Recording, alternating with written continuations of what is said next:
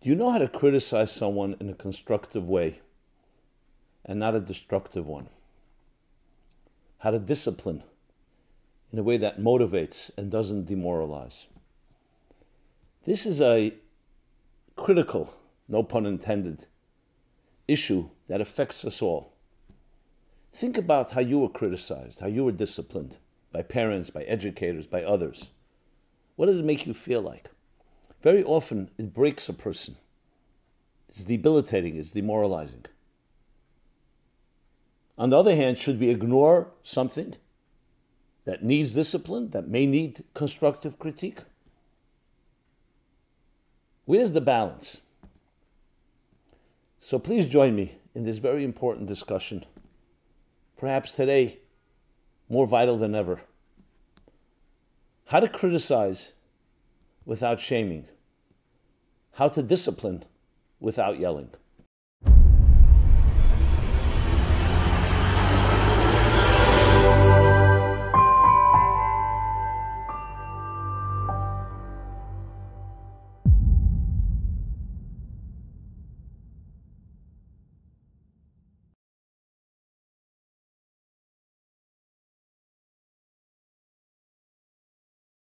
Hi, everyone. Simon Jacobson here, and welcome. Our topic, an important topic, critical topic, is how to criticize without shaming, how to discipline without yelling. This program is an honor and a happy birthday to Ashley Rose, Danielle, and Rich Kirk, and a loving memory of David Eliyahu ben Avram Yitzchak on the 11th of Adar. Do you know how to criticize, how to discipline in a constructive way? Or does it demoralize another person? Think of it the other way around. When you've been criticized, and let's go back even to our childhood parents, educators, others, how did it make you feel? Did it motivate you to grow? Or did it demoralize you? Did it break your spirit? And that is the vital litmus test to know whether the critique, whether the discipline is being done in the proper fashion. It's something we don't look closely enough at because it's so easy, our knee jerk reactions. Someone does something, even if you're not that judgmental, we'll talk about judgmentalism in a moment. There's sometimes that just reaction. You're annoyed, you're disturbed, so you say something very dismissive and you're not really thinking about it, and you end up actually not really helping the problem. Especially if you also include judgmentalism, which unfortunately many of us have.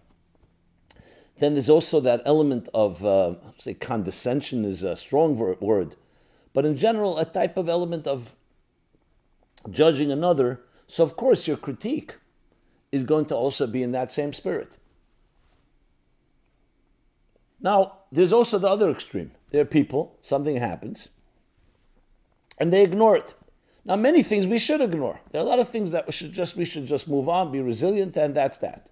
But there are areas in life where we need to address it. Your child comes home from school and did something really not appropriate. Hit another child, bullied. So there are parents who'll just say, It's never my child. It's the other child, it's their parents, it's the school, it's the principal, it's, it's God, whatever. The other extreme are the disciplinarian parents. They hear something, they right away ground the child. And what, is it ha- what happens? You break the spirit of the child, you demoralize the child. Okay, one time, we all make mistakes. But if this is repeated, you're literally hurting your own child in the name of discipline. Is there a third approach? Absolutely. And that's the purpose of this discussion. It requires, however, deliberating, being deliberate, being reflective, being thoughtful, not just reacting. Because just as it is in, let's take it in medicine, the problem, any problem, any symptom is one thing. You can nip it in the bud, hopefully, and eliminate it. One of the worst problems is the problem that comes as a result of the problem, how you deal with it. If you deal with something the wrong way, with an infection, you make the problem far worse. There's no doubt, and I see it from my own experience over the years, that most problems, interpersonal problems between parents and children, between siblings, between uh, spouses, between friends, between the companies, between the colleagues, co-workers, strangers, is not always the initial problem, it's the reaction to the problem. Was just dealing with a situation where a family discovered, unfortunately, one of their children was diagnosed with bipolar. The way they handled it was so unhealthy, it made it far worse. So it's like one thing, there's a fire. Fine, let's contain it. Let's stop the bleeding as much as we can and deal with it. But what happens if the father reacts in one way and the mother in another? One goes into denial, one goes into complete distortions, all because of their discomfort. So then you're projecting your stuff and making the problem far bigger. We don't even realize how often we contribute to putting fuel on the fire. We may have good intentions. I'm not questioning that. But are you doing the right thing? So reacting to something is as equally as equally is equally important, if not more important, than the initial issue. I mean, there's that very strong statement about uh, abuse that the silence was worse than the rape. And I apologize if it offends anyone, those terms. The point I want to make the silence is worse than the crime. The crime is bad enough, but then silence, invalidation, it never happened. Let's move on. That can be far more devastating. In our context, something may require discipline, something may require some reaction, but often the reaction brings our personality into it. So, point number one is think about are you considering the good of the situation, the person you are trying to discipline or criticize? And we'll talk in a moment whether you're even that person. But let's assume you're the parent, you're the responsible party. Are you thinking about what is going to be best in the situation, or are you bringing your own personality into it? Maybe your anger, maybe your resentment, maybe just your natural wiring or your nurture or nature style of attitude. You know, you get upset at something. That's step number one. Stop yourself. The first thing is always pause and reflect. What is the best way to deal with this? Strategize. You don't have to deal with it immediately. Now, of course, there are emergencies you need to deal with. Fine, so you deal with the emergency. But any type of discipline of a child, of someone where you're responsible, needs to be thought through. And most importantly, not just to think through what's the best way to deal with it, but also to think through that you are not bringing yourself into the equation and somewhat distorting the picture. That's not what you want. It's not about you, it's about the situation. As a writer, I deal with editors. Now, some writers hate editors because editors, they say, are uh, failed writers and they're trying to impose their themselves through my writing by editing me. I've heard this. I actually love editors. I write something, I'd love an editor to, to rip it apart and make it better. Obviously, it should maintain the spirit and the integrity of the original. But I see the dynamic often is one where sometimes editors do have issues. And they're not just editing to make it better, they are somewhat inserting themselves into the picture. When people send me something, I always my first question is what do they want to achieve, not what I want to achieve. This is not my outlet. This is that person's writing.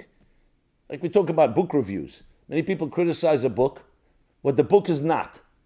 You have to look at what the goal of the author was, and did he or she achieve that goal? Think about the product. Think about what you're addressing, not about you. You, if you would have written the book, you would have done it differently. Fine, you're entitled to say that. But that's not addressing the, the, the issue at hand. So it's vital that when we bring any type of critique and judgment, I'm going to say the word judgment, I don't like judgment, critique, and, and, and something to discipline, it should be, don't insert yourself in it. Now, is it inevitable that we're going to insert part of ourselves? Obviously. But as much as possible, try to reflect, try to deliberate, and stop yourself and say, what is going to be good for my child who came home from school and bullied someone or hit someone? What is going to be best for this child? And we'll talk about the actual intervention. But first, your attitude and yourself. What is your role? Now, it's critical, critical disclaimer. Not everything is our job to criticize or to discipline. You have to also make that clear.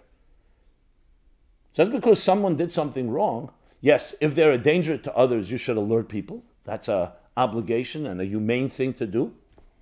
But if it's not something dangerous to anyone else and you see something, do you always have to be the one that has to address it? Now, there are things where you see someone hurting someone. I once wrote an article. I was at a restaurant and I saw a family sitting, and it was very clear that there was a lot of dysfunctionality.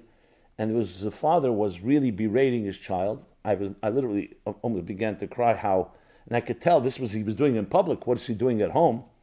And I really debated should I say anything. I, I didn't know these people. And I wrote a whole article about back and forth. On one hand, I could have gone over, but then the father and the mother and the parents would say, What are you mixing into our business? Who are you? Would that have helped? Or should I have done it anyway? Or should I have found some more diplomatic or gentle way to do it? Talk to the father separately. I end up not doing anything, and I'm not saying I was right. It could have been my own discomfort. But I was thinking, what do you do in a case like that? So there are situations, not always you have to insert yourself. Sometimes you do. I think it's case by case. I don't think there's a rule. But we're talking about here, if it's a case where you shouldn't be inserting yourself, then, then altogether this whole discussion is moot. Because you shouldn't be, you're not the disciplinarian, you're not the criti- criti- critic, and you're not the person who's responsible. But let's, we're talking situations where there warrants and there's a necessity. You're a parent, you're a boss, you're um, uh, in a position, uh, a principal, uh, an educator, a leader of a community, a rabbi, a clergy well, I mean, anyone that's in a position where others are, you're managing others, and there's a need. Like in business, there's a need. you you have people who are your subordinates, and you need to direct them. What happens if someone makes a big mistake? Demoralizing is a destructive force. That's not what you want because it doesn't motivate. It's not an incentive. So the question is how do you discipline? And how do you address something like we titled this, how to, how to criticize without shaming and how to discipline without yelling. So it's a situation where you, there is a need. Firstly, you're the person. There is, firstly, there's a need to criticize or discipline, and secondly, you're the person to do so. So that's a critical disclaimer, a critical uh, a component in this entire discussion. So, shaming is a very powerful word here too. Shaming is demoralizing. And a good litmus test, as I said earlier, if you're doing something right, is, right, is what, what, how it affects the person. And that's what we need to deliberate on. If you're going to do something, you're going to ground your child, and the child will be broken. I don't just mean they'll cry. I mean, no child likes to be disciplined, even healthy discipline. But you're breaking your spirit, you need to be very careful not to do that, because that doesn't get, get anywhere. On the other hand, to ignore, like we said, is also not an option. So what do you do? And the same thing is with an employer and an employee, or a manager and those that work under that person. So the third option, which is not to ignore, because you can't ignore it, because it's an important issue, and you shouldn't ignore it, and also not demoralize and break the spirit of the person. The third option is at the deliberation is not to insert yourself. We stated that, that's clear. But the, now comes down to this what will benefit the person most? How will they learn from it? And how will be an incentive that they don't do it again? Now, they may not do it again out of fear because they don't want to be punished. They don't want to be hurt again. That's short term. You, you want to educate them, inspire them, to teach them. So I read somewhere that there was, uh, I think at IBM, a new vice president was hired and he had decisions to make. And he made a decision that cost the company a serious loss. 15, 20 million, maybe even more. I don't remember the numbers. And he was sure that's it. He's being fired. He was summoned his, by his superior. His superior is sitting in the desk, and, and this was it. He thought he's getting the axe. And superior says to him, I'm, I'm reviewing what happened, and I want you to know that we see this as an investment in you. It's a 15, 20 million dollar investment in this mistake you made, that you'll learn from it. Not just not to make it again, but to even improve and build this company with your responsibilities. What do you think happened next? Not only was he motivated, he ended up getting, making money for the company that far overshadowed that loss hundreds of millions of dollars. That's an example. Now, you could say, one second, maybe he should have been fired. Well, this manager or this his, his superior recognized the talent. He didn't just jump, he didn't have the knee jerk reaction. You know, I hear sometimes employers employ this tactic, something they want to discipline one of their workers, they call them into their office. And of course, the person is ready to hear the worst, and you prepare yourself, and you're all defensive and all of that. And I've heard that they, they, they stand up from their, from their desk and they tell the person who did the, who, who uh, caused the problem, they say, please sit in my chair. And they sit in that person's chair and say, if you were the boss and I did this, what would you do? Now, does this always work? It's case by case. But when you think about it, these are all strategies that are empowering, not demoralizing. They're not shaming the person, they're motivating the person. Yes, it's recognizing there's a problem, it's not ignoring it. But the result will be growth, not just more pain, more demoralization, more breaking of the spirit. And the same thing with parents and children. The third approach is you call your child in and say, I heard something happen today. You let your child speak. They may defend themselves, they may not, whatever. And of course, you've established that the facts are true. You don't want to accuse your child of something that's not correct. And the same as in all these situations, that's a given. You don't just jump and criticize before you find out. But you did your discovery, and you say to your child, What do you think about that? And the child says, I'm sorry, I didn't feel I didn't think it was right. It was the other person's fault. He started up with me, whatever the reason. But you want to elicit your child a conversation. Now, I know children are children, not all are ready for a conversation, but the, the gist of it, the spirit of it, what you want to say is, this was really not good. If I did it, I would not want to do it again. What do you think? And the child hopefully will say, yes, I agree. So what do we do about it?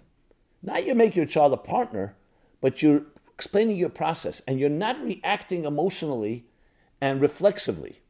You're thinking about it, and the child sees that and you say, So here's what I think. I think because you did that, we should take off some time, you know, game time, downtime, whatever it may be, because it's important that you remember that this was done. And my goal is I love you with all my heart. Maybe that should be the opening line. I love you with all my heart and soul. I want you to be the best you can be. You're a flower in my garden, my garden, in God's garden, but I'm the gardener and I want this flower to grow. I, want, I need, we need to get rid of weeds. We all have. I have things that I sometimes need to be corrected. And we need to be reminded, we need to be cognizant and aware of it. So we need to do something, but it's coming from love. Now, not all children may understand the, the, the subtleties and the complexities of this and the nuances, but that's the gist of it. You have to find the right words. Obviously, I'm, no one size fits all. That's why I'm speaking about it in general terms.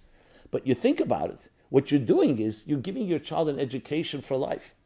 You're giving your employer, you're giving whoever it is that needs that direction. You're educating them. I remember my mentors, especially my mentor, the Rebbe. He would edit the talks I would prepare. When he would speak, my job was to remember it and then write it down. Then he would send it, I would send it in for editing. And it was brutal editing at times, like a scalpel of a surgeon. You know, this sharp, razor sharp mind picking apart. I loved it. I embraced it. There are times it was shocking. Now, someone else, maybe with a fragile ego or, or thin skin, wouldn't be able to handle it. But to me, it was the growth. I am here today because of that critique. Now, obviously, there were many good things as well. It didn't just come critique. When a coach, you hire a coach, you're the number one tennis player in the world, or any other athlete, or whatever it may be, and you have a coach and you get into a funk.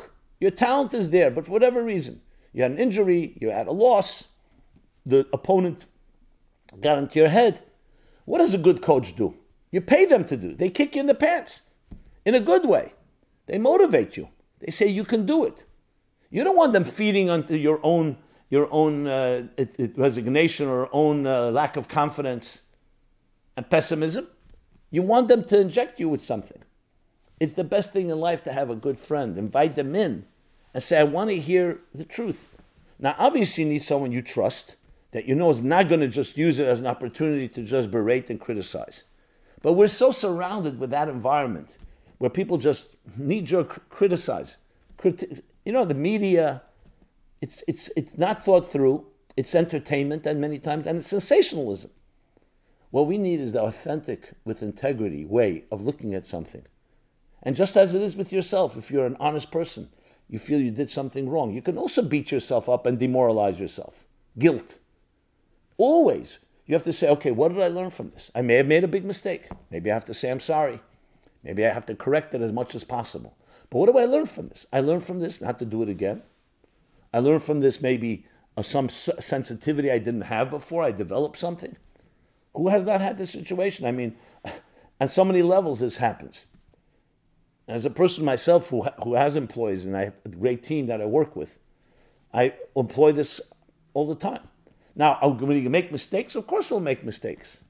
But there's a dignity that you always want to preserve, the dignity of the person that you are, even when you are have something to say and know how to say it. Now, I'm not talking about avoiding it. Many of us don't like confrontation, so we avoid it, or we tiptoe around it, or we walk on eggshells, and we don't really get the message across. We're talking about getting the message across, but always preserving the dignity of the person, not shaming them, not just in public, even privately, not yelling, not screaming, but a reaction that is far more constructive and productive. So it takes two key things. One, to deliberate, pause, and think about what you're going to do. And two, make sure that what you do is only there to create growth, to create motivation, to inspire, to make the person better, to make the situation better. And if you do have a rage problem or anger problem and you yell reflexively, you have to work on it. Why is that? Why is the other person guilty? Many of us start saying, you know what, I deserve to be yelled at, I deserve to be demoralized. That's inappropriate. That's inappropriate. You may have done something wrong, but there's a way to deal with it. That's also a healthy way. We don't deal with, an un, with a mistake in an unhealthy way. And if you really apply this, it could change your whole way of dealing with people. It's a pleasantness. Because I'm talking about times that require critique or require, require discipline. But it's all in the spirit of love.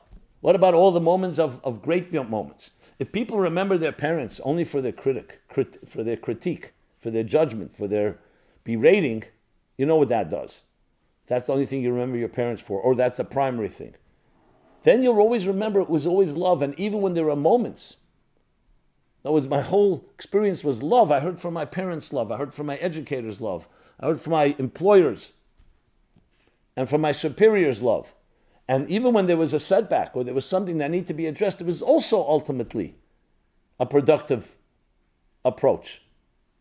And you can understand the contrast for those of us that have been criticized time and again. The demoralization, the cumulative, creates that you start second guessing yourself. You're not confident, you're not sure of yourself. Difficulty with commitment, with trust. I don't need to spell out all the nightmares that result from sustained negative and unhealthy critique, judgment, discipline. Because what it does is breaks the spirit, yes. So I'd like to focus on the positive, but we have to address both sides of it. So you have in your hands right now, each one of you, whoever you interact with, and may not always be a, you're superior, a teacher, a parent, could also be a colleague. How you interact can both save a life and shape a life and also unfortunately hurt and destroy the spirit of a person. You never know. You may say something you think it's uh, nonchalant, but that person may have been subject to all types of berating, humiliation, I mean, shame, and you just added to it. You don't know. So you have to be very careful. And even if you even if the person was not subject to that, you need to always do it in a productive and inspiring and motivating way. Humiliation is uh, the great greatest crime, humiliating the dignity of an indispensable divine soul in this world. No person deserves that. Something needs to be addressed, we address it. Sometimes even something needs to be addressed even in, strong terms. A criminal. You'll say, Where, what about a criminal? Even a criminal who's prosecuted and for something that really was murder, rape, crimes against humanity. Even there, we need compassion. What does compassion mean? Doesn't mean compassion you let him off the hook. He may need to go to prison, and sometimes even capital punishment. But even that is not because we're getting even. It's not because we're getting our anger out or vengeance. It's because that is what's necessary under the circumstances. It's a bigger topic, and I don't really want to digress, but it's the same theme and the same spirit. We're here to build this world. There's an expression in the Bible. It says, judge the people and preserve them and save them. Even when you need to judge them, the purpose is to make them healthier, like a doctor. If you may need to do a puncture, you may need to do an injection, or you may need to do surgery, the goal is healing. The momentary pain is a step toward healing. But imagine the pain is just pain for, for because what? Because something you did something wrong, we're going to cause you pain. That's torture. That's sadism. That's that's cruelty. So hopefully we can all learn from this. And I include myself because it's our attitude, it's our relationships, and it's what builds ultimately the trust and love that is the essential oxygen, the essential building blocks of what, what makes a human being a human being and what allows us to have thriving, healthy, successful, sustainable, loving relationships and connections. This has been Simon Jacobson. I thank you for listening. MeaningfulLife.com is our website. Please go there for a full calendar of programs and events every week, different topics for different types of audiences. Please take advantage. Love to hear from you. Suggestions, feedback, critique, thoughts, and please share this with others. Let's create a ripple effect, a butterfly effect. Pay it forward that continues to carry this message to every person on this earth. And we can. You change one person, you change 10 people, you can change a million people. So let's join together and do that. Thank you so much. Be well. This program is brought to you by the Meaningful Life Center. Please help us continue our programs. Make even a small contribution at meaningfullife.com/donate.